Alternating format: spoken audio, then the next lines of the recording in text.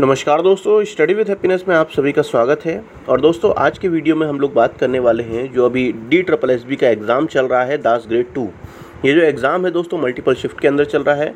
तो इसका मैं आपको थोड़ा सा एक रिव्यू दूँगा और एक्सपेक्टेड कट ऑफ़ क्योंकि ये वाला एग्ज़ाम 2017 में निकला था दोस्तों, उस समय मैंने भी इस फॉर्म का अप्लाई किया था। तो इस एग्ज़ाम को देने के बाद जो मेरा रिव्यू है, मैं आप लोगों को उसको बताने वाला हूँ।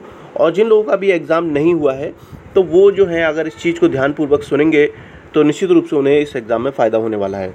सबसे पहले तो दोस्तों, मैं आपको थोड़ी सी जनरल इंस्ट्रक्शन दे देता हूँ। ये कई जगह पर एग्ज़ाम हो रहा है और जिसमें से जो सबसे ज़्यादा लोगों का एग्ज़ाम पड़ रहा है वो है नोएडा सिक्सटी टू वहाँ पर। तो उस एग्ज़ाम सेंटर पे दोस्तों, पहली चीज़ जो आपको ध्यान रखनी है, वो तो आपने डी के सारे इंस्ट्रक्शन पढ़ ही लिए होंगे। उसमें लिखा हुआ है कि बैग वगैरह नहीं रखना है, मगर वहाँ पर जो है बैग रखने की सुविधा है, आप बैग रख सकते हैं वहाँ पर। और उन्होंने ये कहा है कि आप अपनी ज़िम्मेदारी पर रखिए, मगर फिर भी वो लोग सिक्योरिटी उसकी करते ही हैं, क्योंकि जब बैग लेने जाते हैं तो आपसे पूछा जाता है इसके अंदर मोबाइल है या नहीं है तो आप इस चीज़ से निश्चिंत रह सकते हैं कि आप वहाँ पर बैग नहीं रख सकते। उसके साथ में आपका फ़ोटो होना चाहिए फोर बाई सिक्स का, और जो आपकी शर्ट हो, वो हाफ़ शर्ट होनी चाहिए। ठीक है, ये तो मैंने थोड़ा सा जनरल इंस्ट्रक्शन बता दिया आपको। अब पेपर में क्या होने वाला है दोस्तों? पेपर में जैसे कि आप देखेंगे रीजनिंग है जनरल अवेयरनेस है मैथ है इंग्लिश और हिंदी, ये इसी क्रम में आ रहे हैं, ठीक है? और आप इसका क्रम चेंज नहीं कर सकते। ऐसा नहीं कर सकते कि पहले आप जो है जनरल अवेयरनेस कर लें या पहले आप मैथ कर लें, उसके बाद। जिस क्रम में दे रखा है, उसी क्रम में आपको करना है। अब देखिए, जैसे कि ये पाँच पोर्शन है तो पाँच पोर्शन को डिवाइड कर दिया है इन्होंने दस पोर्शन में। बीस बीस के इन्होंने दस पार्ट बना दिए हैं, जिससे कि आपके ये जो है लगभग क्वेश्चन हो जाएँगे, दो सौ क्वेश्चन हो जाएँगे, ठीक है? तो ऐसे में क्या होगा कि जैसे कि मान लीजिए आपने रीजनिंग के बीस क्वेश्चन कर लिए, फिर वो स्क्रीन लॉक हो जाएगी। आप सबमिट कर देंगे और फिर उसके बाद रीजनिंग का ही पार्ट टू खुल के आएगा, ठीक है? तो यानी कि रीजनिंग आपको दो बार करने को मिलेगी, दो पार्टों में करने को मिलेगी। फिर जब आप इसे सबमिट कर देंगे सेकेंड वाले पार्ट को, उसके बाद आप जाएँगे जनरल अवेयरनेस पे। क्योंकि जनरल अवेयरनेस लोग तेज़ी से कर लेते हैं। अच्छा एक चीज़ का आपको ध्यान रखना है रीजनिंग में कुछ सवाल ऐसे होंगे, जो भले ही देखने में आसान लग रहे होंगे, मगर वो थोड़े से कठिन होंगे मतलब कैलकुलेटिव होंगे। और यहाँ पर अगर आपने एक भी सवाल पे ज़्यादा समय दिया रीजनिंग की बात कर रहा हूँ मैं दोस्तों, क्योंकि मैथ में एक बार को आइडिया लग जाता है कि ये सवाल हमसे होगा या नहीं होगा, मगर रीजनिंग में आदमी जो है वो सवाल से लड़ने लगता है। तो ऐसे में क्या होगा कि कई लोगों के साथ ऐसा हुआ है कि कई लोग तो पूरा हिंदी का पोर्शन ही नहीं देख पाए हैं, और कई लोग ऐसे भी हैं जो मैथ और रीजनिंग में उलझ गए या उन्होंने कर भी दिए तो आपका जो है इंग्लिश भी छूट गया और हिंदी भी छूट गया। तो ऐसे में दोस्तों, आपको काफ़ी नुकसान हो सकता है, ठीक है?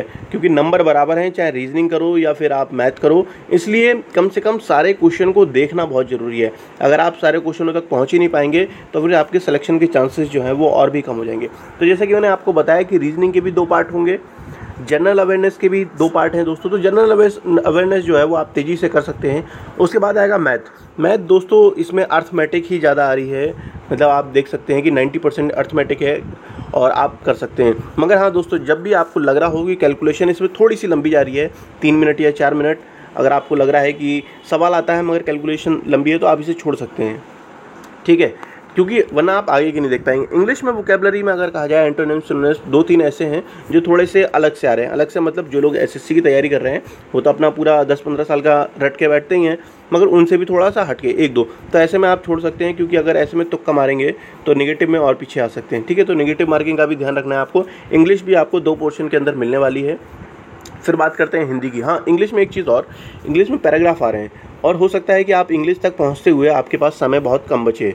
तो ऐसे में क्या करना है दोस्तों, आप जो पैराग्राफ हैं या फिर जंबल वाले हैं, उन्हें आप छोड़ सकते हैं या फिर पैराग्राफ में भी कुछ क्वेश्चन ऐसे होते हैं जो बिना पैराग्राफ पढ़े आप कर सकते हैं। एक सरसरी नज़र से देखिए और जो है फिर उसे अटैम्प्ट कर लीजिए, ठीक है?